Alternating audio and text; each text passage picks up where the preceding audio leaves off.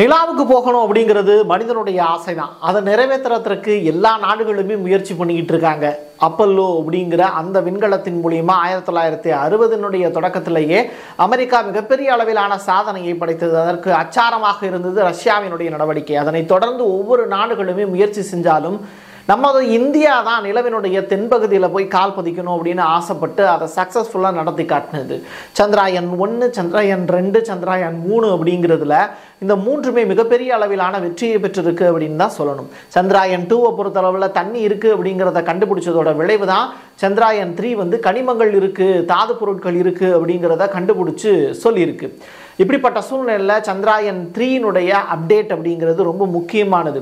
Chandrayaan three வந்து நிலவில் போய் மறுபடியும் பதினாலு நாளுக்கு பிறகு முழிச்சுக்குச்சா அப்படிங்கிற ஒரு கேள்வி. இன்னொரு கேள்வி இஸ்ரோவினுடைய தலைவர் சோம்நாத் அவர்கள் ஒரு ஸ்பெஷலான ஒரு பேட்டி ஒன்று கொடுத்துருக்கார். அந்த பேட்டியில் இருக்கக்கூடிய விஷயங்கள் என்னென்ன அப்படிங்கிறதையும் இந்த வீடியோவில் ஃபுல்லாக பார்க்க போகிறோம் கண்டிப்பாக ஸ்கிப் பண்ணாமல் பாருங்கள் இது வரைக்கும் பிரசாத் சிக்னேச்சரை சப்ஸ்கிரைப் பண்ணாமல் இருந்தீங்கன்னா சப்ஸ்கிரைப் பண்ணிக்கோங்க. நித்தம் நித்தம் உங்களுடைய தகவல்கள் வந்து உங்களுக்கு வந்து சேரும். அதற்காக தான். இப்போ இந்த சந்திரயான் த்ரீயினுடைய அப்டேட் அப்படின்னு பார்க்கும்போது நிலவில் மொத்தம் பதினாலு நாட்கள். நமக்கு ஒரு நாளுங்கிறது நிலவில் பதினாலு நாட்கள். அந்த வகையில் இப்போது நிலவில் அடுத்து பதினாலு நாட்கள் நமக்கான டைம் இருக்குது அப்படிங்கிறது ரொம்ப முக்கியமான விஷயம். எதற்காக?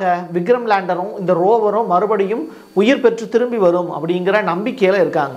அது மட்டும் இல்லாமல் அங்கே செவன் ஃபிஃப்டி வாட்ஸ் வந்து பார்த்திங்கன்னா அந்த ஏற்கனவே சார்ஜ் பண்ணி வச்சுருக்காங்க. அந்த மறுபடியும் அது புத்துயிர்ப்பு பெற்று மூடுவதற்காக மூடி கிடக்கு இப்போது மூடி கிடக்கிற இடத்துல இருந்து மறுபடியும் அது புத்துயிர்ப்பு பெற்று திரும்பி வருமா அப்படிங்கிற ஒரு எதிர்பார்ப்பு பெரிய அளவில் இருக்குது இஸ்ரோவினுடைய விஞ்ஞானிகள் சொல்லக்கூடிய ஸ்டேட்மெண்ட்டு அதற்கு பிறகு வந்து இந்த தகவல்களை சரியாக பதிவு செய்து வரக்கூடிய விக்னேஸ்வரன் அவர்கள்ட்ட சில விஷயங்கள் வந்து சேட்டலைட் சேனல்கள் சில கேள்விகளை கேட்டு அதற்கான பதில்களையும் கேட்டு வாங்கியிருக்காங்க. அந்த வகையில் விக்னேஸ்வரன் சார் சொல்லக்கூடிய தகவல் அடிப்படையில் இந்த பதினாலு நாட்கள் அப்படிங்கிறது இனிமேல் நம்ம வெயிட் பண்ணுறது அப்படிங்கிறது கொஸ்டின் மார்க் பட் அது வந்து இந்தியாவின் சார்பாக நிலவில் நம்ம வைத்து விட்டு வரக்கூடிய மிகப்பெரிய அடையாளம் அப்படிங்கிறாங்க.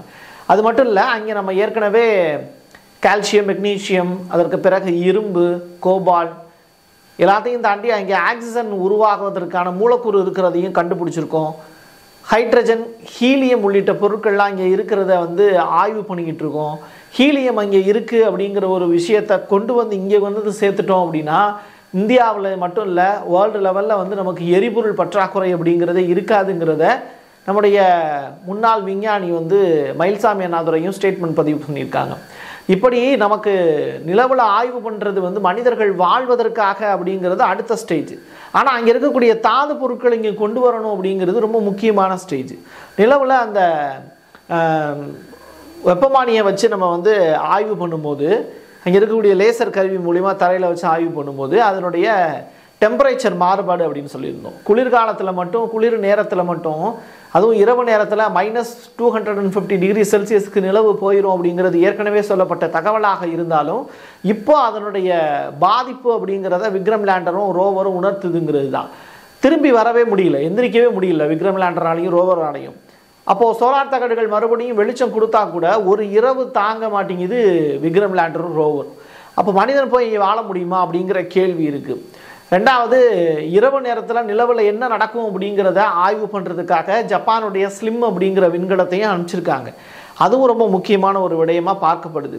இப்படிப்பட்ட சூழ்நிலையில் அது போய் சேர்றதுக்கு பிப்ரவரி ஆகிடும் ஸோ ஜப்பானுடைய விண்கலம் போய் சேரும்போது பிப்ரவரி மாதம் இன்னும் இன்னும் நிறைய மாதங்கள் இருக்குது அப்படிப்பட்ட சூழ்நிலை அது ரெண்டு நேரமுமே ஆய்வு பண்ணும். பகல்லையும் ஆய்வு பண்ணும் இரவுலையும் ஆய்வு பண்ணும் அப்படின்னு சொல்கிறாங்க இப்படிப்பட்ட சூழ்நிலையில் நம்முடைய விக்ரம் லேண்டரும் ரோவரும் வந்து கால் பதித்த தடங்கள் இருக்குல்ல. அதில் ஏன் நம்முடைய அசோக சக்கரம் பதியலை அப்படிங்கிற கேள்வியை இஸ்ரோவினுடைய தலைவர் வி- சோம்நாத்கிட்ட ஒரு கேள்வி எழுப்பியிருந்தாங்க. அப்போது அவர் சொன்னக்கூடிய பதில் வந்து அந்த அச்சு பதியாததுக்கு காரணம் அங்கே இருக்கக்கூடிய மண்ணினுடைய தன்மை தான் அப்படின்னு. ஒரு நீங்கள் கன்னியாகுமரி பக்கமோ இல்லை நீங்கள் தூத்துக்குடி பக்கமோ போனீங்க அப்படின்னா இங்கே தாது மணல் எடுக்கக்கூடிய பிஸ்னஸ் பண்ணுறவங்க இருப்பாங்க. அந்த மண் வந்து பார்த்திங்கன்னா நிலை இல்லாமல் இருக்கும். அதில் வந்து ஒரு அச்சு அப்படிங்கிறது பதியக்கூடிய சூழல் இருக்குமா அப்படின்னு கேட்டால் அது ஒரு கொஸ்டின் மார்க் பதியாது. அப்போது நிலவில் இருக்கக்கூடிய சாதாரணமாக நடக்கக்கூடிய மண்ணே தாது மணலாக மாறிடுச்சு அப்படிங்கிறது தான் இந்த விஷயத்துலேருந்து நம்ம புரிஞ்சுக்க வேண்டியது. நிறையா மண் வகைகள் இருக்குது வண்டல் மண் இருக்குது உள்ளிட்ட செம்மண் மண் உள்ளிட்ட ஏகப்பட்ட மண் இருக்குது ஆனால் அந்த மண்ணினுடைய இறுகுத்தன்மைக்கு ஏற்ற மாதிரி தான் அந்த மேலே பதியக்கூடிய அந்த அச்சு அப்படிங்கிறது பதியும். அந்த வகையில் நிலவில் நம்ம காலடி எடுத்து வச்சு ரோவர் வந்து ட்ராவல் பண்ணி போகும்போது அதில் அசோக சக்கரம் அந்த நம்முடைய அந்த ரோவருடைய சக்கரத்தில் நம்முடைய இந்தியாவினுடைய அசோக சக்கரமும் இஸ்ரோவினுடைய லோகோவையும் வச்சுருந்தாங்க. அது ஏன் பதியலை அப்படின்னு சோம்நாத் சார்கிட்ட கேட்கும்போது தான் அவர் இந்த ஸ்டேட்மெண்ட்டை சொல்லியிருக்காரு. இந்த மாதிரி அதனுடைய மண்ணினுடைய தன்மை வந்து பதியக்கூடிய அளவில் இல்லை. அதுதான் அந்த பதியாததுக்கு காரணம். அப்போது அது இங்கே இருக்கக்கூடிய மண்ணும் வகைகள் என்ன மாதிரியான வகையாக இருக்கும்? ஏற்கனவே முன்னாள் விஞ்ஞானி சிவன் அவர்கள் சொல்லும் போதும் சில விஷயங்களை பதிவு பண்ணியிருந்தாங்க. அங்கே இருக்கக்கூடிய மண்ணே டிஃப்ரெண்ட் டைப் ஆஃப் மண்ஸ் இருக்கும். அதாவது ஒரு ஒவ்வொரு ஃபைவ் ஹண்ட்ரடு மீட்டருக்கு இடப்பட்ட கேப்லேயே மண்ணினுடைய தன்மை மாறுபடலாம். ஏன்னா நம்ம போகிறது வந்து தென்பகுதியில். அதுவும் வந்து ஜப்பானுடைய ஸ்லிம்மின்களம் போகிறது வந்து பார்த்திங்கன்னா பாறைகள் ஆய்வு செய்கிறதுக்காக போகுது. அப்போ பாறைகள் ஆய்வு அப்படிங்கிறது பாறையிலேருந்து தான் உடஞ்சி வந்து ஒரு பீரியடில் வந்து தண்ணி வரும் அப்படிம்பாங்க. மலைப்பகுதிகளில் பாறைகள்லேருந்து தான் தண்ணி வெளியில் வரும் அப்படிம்பாங்க. இந்த மாதிரியான ஆய்வுகள்லாம் ஜப்பான் விண்கலம் செய்ய போகுது அப்படிங்கிறாங்க. இப்போது நம்முடைய தென்பகுதியை பொறுத்தளவில் இருக்கக்கூடிய விஷயங்கள் அப்படின்னு சொல்லிட்டு ரொம்ப சீரியஸாக ஆய்வு பண்ணி பார்க்கும்போது இந்த மண்ணினுடைய தன்மை அப்படிங்கிறது ரொம்ப ஸ்பெசிஃபிக்காக நம்ம பேச வேண்டிய ஒரு விஷயங்கள். சப்போஸ் இப்போ விக்ரம் லேண்டரும் ரோவரும் நம்ம அனுப்பிச்சிட்டோம். அதே விக்ரம் லேண்டரையும் ரோவரையும் நம்ம திருப்பி கொண்டு வருவதற்கான வாய்ப்பு இருக்கா அப்படின்னு கேட்டால் கிடையாது. ஸோ நிலவில் அது நம்மளுக்கு இந்தியாவுக்கான அடையாளம் சின்னமாகவே அது அங்கேயே தான் இருக்க போகுது. இன்னும் கொஞ்ச நாளில் அது வெடித்து சிதறதுக்கான வாய்ப்பும் இருக்குது ஏகப்பட்ட விண்கற்கள் வந்து நிலவில் வந்து மோதுறதுக்கான வாய்ப்புகளும் இருக்குது அந்த நிலவினுடைய படங்களை பார்க்கும்போதே நமக்கு தெரியுது ஏகப்பட்ட பள்ளங்கள் இருக்குது அப்படிங்கிறது. கிட்டத்தட்ட அமெரிக்கா சொல்லியிருக்கக்கூடிய தகவல் அடிப்படையில் ஒரு லட்சத்துக்கும் மேற்பட்ட சின்ன சின்ன பள்ளங்கள் இருக்குது அப்படிங்கிறாங்க. நம்மளுடைய பார்வையில் சின்ன பள்ளங்கள் அப்படின்னு தெரியுது. ஆனால் விண்கற்கள் வந்து மோதுது அப்படின்னா எவ்வளோ பெரிய பள்ளமாக உருமாறும் அப்படிங்கிறத நம்முடைய கற்பனைக்கும் எட்டாத வகையில் இருக்குது அப்போது நம்முடைய பூமி அப்படிங்கிறது இன்னைக்கு இந்தியாவில் இருக்கோம் நம்ம நியூசிலாந்து போகணும் அப்படின்னா எவ்வளவு தூரம் ஆகுது சூரியன் முத முதல்ல வந்து உதிக்கிறதே வந்து நியூசிலாந்து அப்படிம்பாங்க. அப்போ இங்கேருந்து நம்ம நியூசிலாந்து போகிறதுக்கு எவ்வளவு நேரம் ஆகும்? அதே மாதிரி தான் நிலவினுடைய பரப்பளவு அப்படிங்கிறதும் ரொம்ப பெருசு. இப்படிப்பட்ட சூழ்நிலையில் ஆனால் பூமியை விட நிலவு வந்து சின்னது தான் அது சைஸை பொறுத்தளவில். இப்படிப்பட்ட நிலைமையில வந்து நிலவில் இருக்கக்கூடிய மண் தன்மையை ஆய்வு பண்ணுறது அப்படிங்கிறது ரொம்ப முக்கியத்துவம் வாய்ந்தது. அடுத்து இந்தியாவினுடைய ஆய்வு அப்படிங்கிறது நிலவில் போய் மண்ணை எடுத்துட்டு வரக்கூடிய வேலையை செய்யணும் அப்படிங்கிறது தான் பெண்ண மயில்சாமி அண்ணாதுரை உள்ளிட்ட பெரிய விஞ்ஞானிகளுடைய கோரிக்கையாக இருக்குது இந்த விஷயத்தை பொறுத்தளவில் விக்னேஷ் விக்னேஸ்வரன் வந்து தொடர்ந்து பல்வேறு விடயங்களை வந்து தகவல் செஞ்சுட்டே இருந்தார். இப்போ இந்த பதினாலு நாட்கள் வந்து அடுத்த டைம் இருக்குது நமக்கு. எப்போனாலும் விக்ரம் லோன்றும் ரோவரும் வந்து முழிச்சுக்கிறதுக்கான வாய்ப்பு இருக்கா அப்படிங்கிற கேள்வியும் கேட்டிருந்தாங்க. ஆனால் இப்போது அவங்க சைட்லேருந்து சொல்ல சொல்லக்கூடிய தகவல் என்னென்னா மைனஸ் டூ ஹண்ட்ரட் டிகிரி செல்சியஸ்லேருந்து இப்போ தான் சோலார் தகடுகள் வந்து விரிய ஆரம்பிச்சிருக்கும். ஸோ சோலார் தகடுகள் வந்து மூலியமாக வந்து அந்த இடத்துக்கு வந்து சார்ஜிங் கெப்பாசிட்டி வந்து அதிகரிக்க அதிகரிக்க கண்டிப்பாக ரோவரோ இல்லை விக்ரம் லேண்டரில் இருந்தோ நமக்கு தகவல் கிடைக்கிறதுக்கான வாய்ப்பு இருக்குது அங்கே ஏ டெக்னாலஜியும் இருக்குது அப்படிங்கிறதுனால அது மூலியமாக தான் நம்ம வந்து லேண்டே ஆனோம். ஸோ இப்படிப்பட்ட சூழ்நிலையில் அது இந்த சிக்னல் வர்றதுக்கான வாய்ப்புகளும் இருக்குது வராமல் போகிறதுக்கான வாய்ப்புகளும் இருக்குது அப்படிங்கிறது தான் இஸ்ரோவினுடைய தலைவர் சோம்நாத் இன்னைக்கு சொல்லியிருக்கக்கூடிய ஸ்டேட்மெண்ட்டு இதிலிருந்து நம்ம இன்னொரு விஷயம் புரிஞ்சுக்கணும். லேண்ட் ஆகக்கூடிய விஷயந்தான் பிரச்சனை அப்படிங்கிறதுனால ஜப்பானுடைய ஸ்லிம் விண்கலம் வந்து எந்த பகுதியிலேனாலும் வந்து இறங்குறதுக்கான வாய்ப்பை உருவாக்கக்கூடிய வகையில் அதனுடைய இறங்கும் தன்மையை வந்து ரொம்ப ஸ்ட்ராங் ஆக்கியிருக்காங்கன்னு சொல்லப்படுது. அப்படி பார்க்கும்போது அது நிலவினுடைய தென்பகுதியிலையும் இறங்கலாம் நிலவினுடைய மையப்பகுதியிலையும் இறங்கலாம் அப்படிங்கிற மாதிரியான விஷயங்கள் சொல்லியிருக்காங்க. ஆனால் பூமத்திய ரேகையினுடைய மையப்பகுதியில் அதாவது நிலவினுடைய அந்த மையப்பகுதியில் தான் அது இறங்குறதுக்கான பாசிபிலிட்டிஸ் இருக்குது அப்படிங்கிற மாதிரி இப்போதைக்கு ரிப்போர்ட் கிடச்சிருக்கு. போக போக தான் தெரியும்.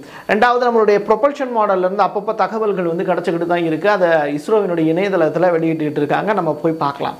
ஸோ ப்ரொபல்ஷன் மாடலும் வந்து மற்ற அங்கிருந்து மற்ற மற்ற கோள்களை ஆய்வு செய்கிறதுக்கான வேலைகளை செஞ்சுக்கிட்டு இருக்கு. ஸோ மற்ற கோள்களில் இருக்கக்கூடிய தகவல்களையும் ப்ரொபல்ஷன் மாடியல் மூலியமாக இஸ்ரோவினுடைய கட்டுப்பாட்டு அறைக்கு தகவல் வந்துக்கிட்டு தான் இருக்கும்.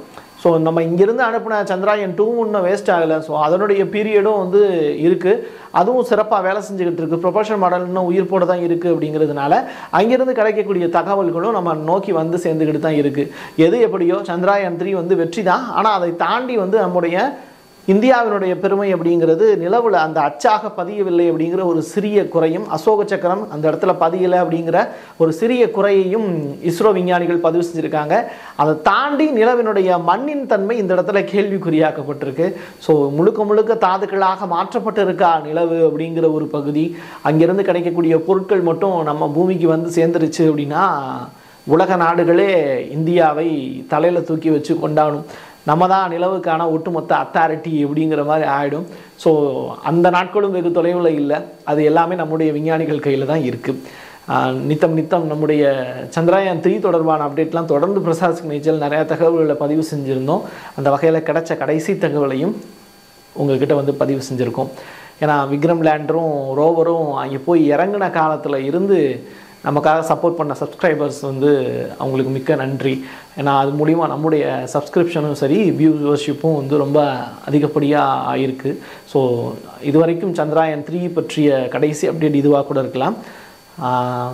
நித்தம் நித்தம் சப்போர்ட் பண்ணக்கூடிய சப்ஸ்கிரைபருக்கு பிரசாத் சிக்னேச்சர் சார்பாக நன்றியை தெரிவித்துக்கிறோம் என் கையெழுத்து என் மக்களுக்கானது. மீண்டும் ஒரு பதிவில் சந்திக்கிறேன். நன்றி வணக்கம்.